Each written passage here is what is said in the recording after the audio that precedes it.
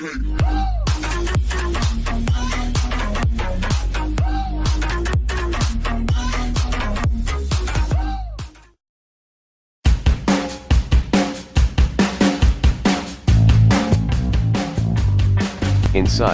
the cabin is roomy and quite comfy.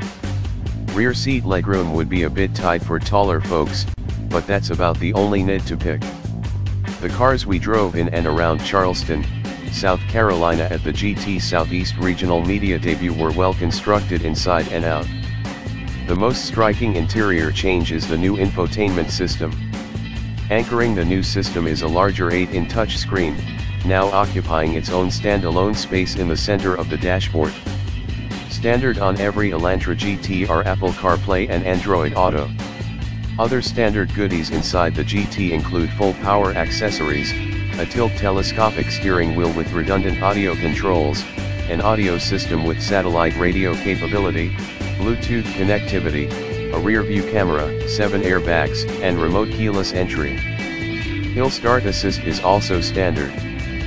Ponying up the extra money for the GT Sport adds features like lane keep assist, LED headlights and tail lights, automatic dual climate control, a leather-wrapped steering wheel and shift knob, leather seating and heated front seats. Optional on both the entry-level and GT Sport is a panoramic sunroof.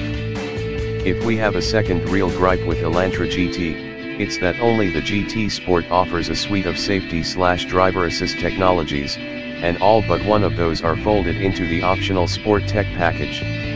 Lane Keep Assist is standard on the GT Sport. Bundled in with the Sport Tech package are advanced smart cruise control, automatic emergency braking with pedestrian detection, forward collision warning, high beam assist, and driver attention assist.